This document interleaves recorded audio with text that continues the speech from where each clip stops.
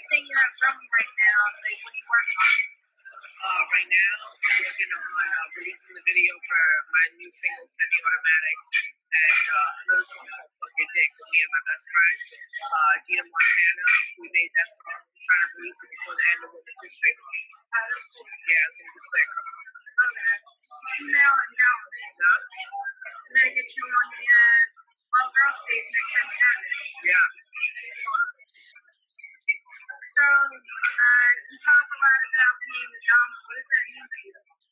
Dama means lady in uh, a couple different languages. My homeboy that gave me that name, he's Dominican. He was just like Dominos. Uh, Dama means lady, man. Domination is my movement. It's definitely about like female empowerment, 100. percent You can't deny that. You know what I'm saying? It's hard for us to get get ahead in this male-dominated industry.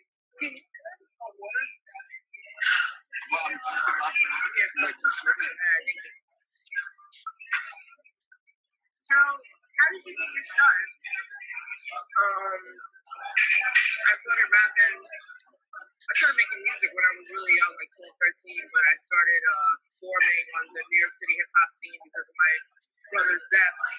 Uh, he put me onto a couple of shows, and then I started just growing and growing and growing into the world tours and shit like that in Cali. So probably around when I was 17 on. Thank you.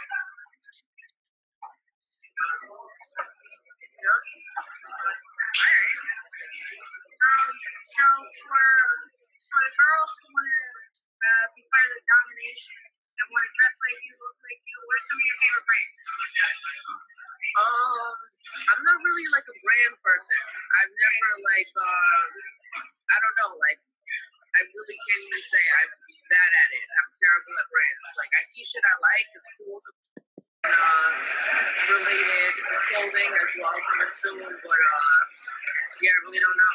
I can't I can't even name one. All right. Awesome. So original. What's been the hardest and most difficult thing about your work? Uh, like your music career or, you know, building your brand, being an artist, being, you know, brand personality. There's there's a lot of hurdles. There's definitely a lot of hurdles. Um, you know, sometimes what I hear from my publicist is that some people won't even play my video just because I'm a woman. You know what I'm saying? It's really creative and dope and just so full of life. And people won't even play it because they're like, oh, female, no.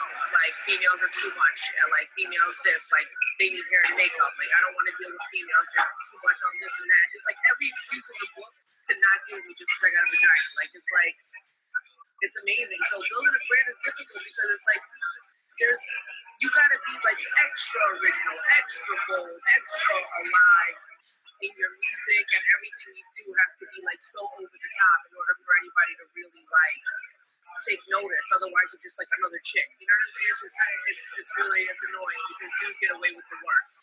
Like you don't really gotta do shit. You don't gotta really be good or have big budget videos or anything. You know, just fucking put on a t-shirt and fucking rap some bullshit. Know? So, since we're music for breakfast, what's your jam to wake up to in the morning and you have for breakfast? I listen to. I like to start my day off with uh, I don't know, something like uh, either like electric guest, like indie rock shit like that, or some really ratchet trap music like that new Cardi B album or something like that. Like whatever like gets me pumped in the morning. And um, I like Mexican breakfast and huevos rancheros and shit like that. I'm with that. That's put them into some avocado, nice and clean, little pico de gallo. You know, start the day off right. So, last question, kind of along the same lines. Do you cook? Yes. Okay. I'm a chef, man. I cook my ass off. I make banging tacos, banging guacamole. I'm sick of pancakes, uh, chicken cutlets. I'm nasty, man. I love to cook. I love it.